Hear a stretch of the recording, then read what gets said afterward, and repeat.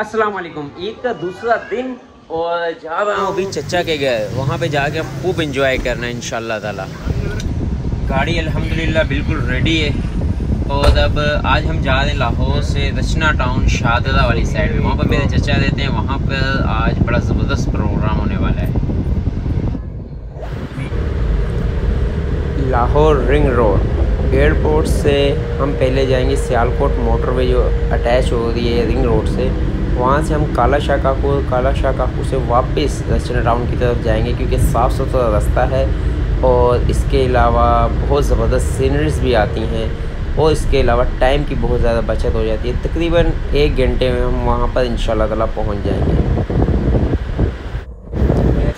घर पहुँच गए हैं और गोश्त जो है वो काटा हुआ तैयार है, मगर चर्बी अभी थोड़ी सी निकालना बाकी है। वो मैंने और दोस्तों ने मिल के कज़नों ने मिल के चर्बी निकाली और इसके अलावा मामू जो थे वो मेरे पाए बनाने में मास्टर हैं तो उनको हमने काम सौंपा कि आप पाए वगैरह बनाएं हम लोग जो है ना सीख बोटी वगैरह कबाब वगैरह ये हम बनाएंगे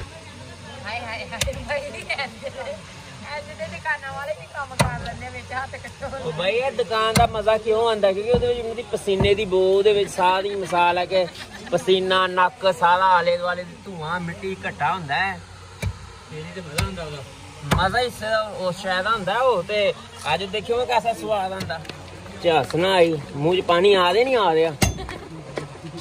हैं?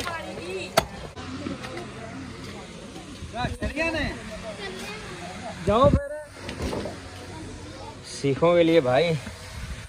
पाकिस्तानी जुगाड़ किए स्लैब के ऊपर जो है ना ऊंटे रख के अंदर कोयला शोयला रेडी कर दिया खाला मेरी जो थी, वो सबके लिए रोटियाँ बना रही थी और बना रही भी थी वो जो आग का, गाँव का जो चूल्हा होता क्योंकि छत पे बंदोबस्त किया था। तो छत पे वो चूल्हा लाना मुसीबत था। इसलिए जो है ना, ये चूल्हा भी रखा हुआ है तो छत पे इन तमाम जितने भी आए हुए, इतने ही बंदे नीचे भी थे तो सबके लिए खाना वगैरह रेडी किया। और साथ साथ सीखों के लिए कोयले भी रेडी कर रहे थे।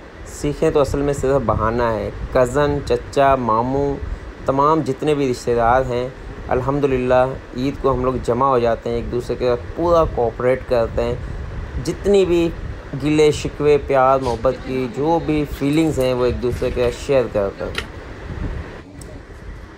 तकरीबन अल्हम्दुलिल्लाह 25 से 30 लोग और तकरीबन कम से कम भी ये 14 से 15 किलो गोश्त की जो है ना, सीखें हम बना रहे थे।